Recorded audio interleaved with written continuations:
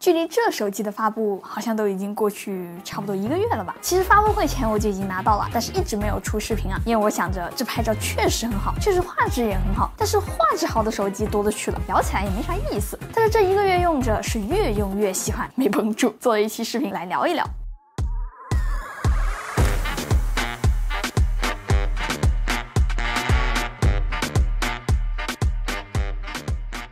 证明一下，我这一期不是双单啊！vivo logo 糊脸，外观啥的应该都已经看习惯了。小伙伴们有没有觉得像《原子之心》里面那个小可爱？我觉得放在今年的手机里面，其实还挺好看的。屏幕舒适峰值两千五百尼特，手动最高亮度和色彩确实也很不错。但是这个实际感受其实并没有数字上那么夸张，反倒是它的影像，我确实是想好好聊聊。如果要说画质的话，确实强，白天晚上的效果都是牢牢的第一梯队水平。真正让我喜欢用它拍照的是色调和相机的操作体验。这里想和小伙伴们讨论一个问题啊，我觉得对成片的预期是非常非常重要的。举个例子，iPhone 拍照确实不能说非常好，但是 iPhone 在按下快门之前，我就知道它能不能拍好。它的成像效果是非常稳定的，可以说是永远保持八十分吧。再加上实时 HDR，你几乎可以直接看到成片的样子。要说不拉暗部就是所谓影调的话，那 iPhone 老早就影掉了。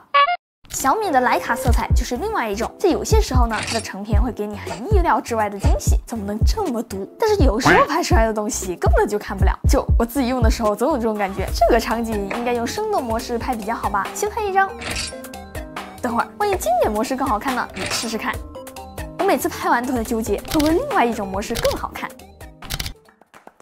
？X 六 Pro 这一点就做的比较好了，在绝大部分场景里面，它的表现都非常符合我的预期。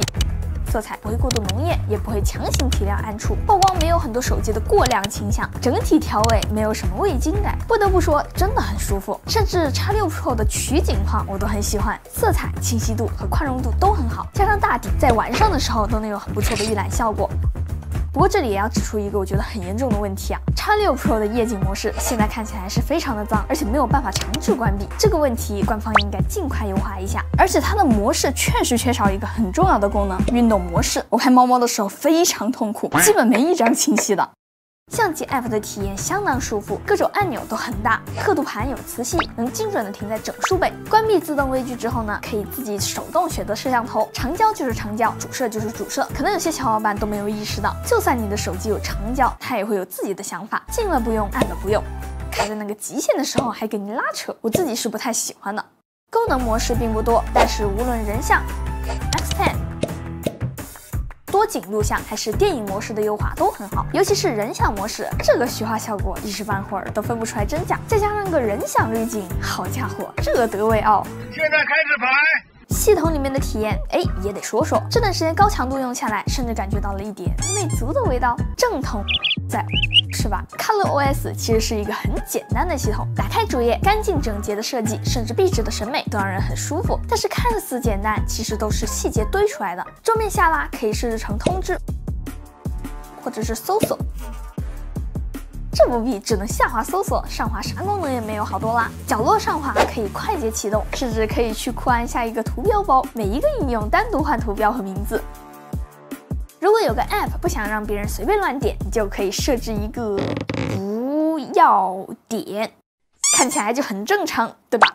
如果觉得壁纸不好看怎么办？官方的 Art 加壁纸，我觉得可以说是几家大厂里面审美最合我意、更新频率也相当稳定的一个。如果还是不喜欢，那你可以用灵感壁纸自动取色，随机生成一个抽象壁纸。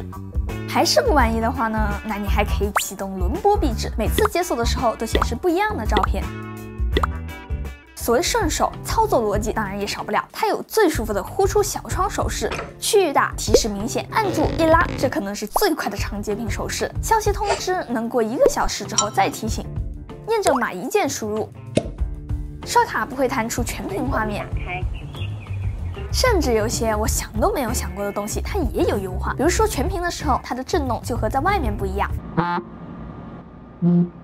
这些交互逻辑既简单又符合直觉，所以才会给我一种自然舒服的感觉。想到几年前的时候，换 X2 Pro 也是我最喜欢的机子。当时拉爆的配置是一方面，但是更吸引我的其实是他们对细节的注重。我很少会在发布会上面听到全像素、全向对焦，在屏幕里面加入偏光片，为了让整个屏幕纯黑一体，还加入了一个偏光片。整个屏幕看起来就是漆黑的一片。给每个挖孔倒角，每个按键做弧边，正反面都可以刷的 NFC，这也是我第一次见到用主摄传感器来当超广角的手机。这种注重体验的表现，在我看来就是最重要的核心。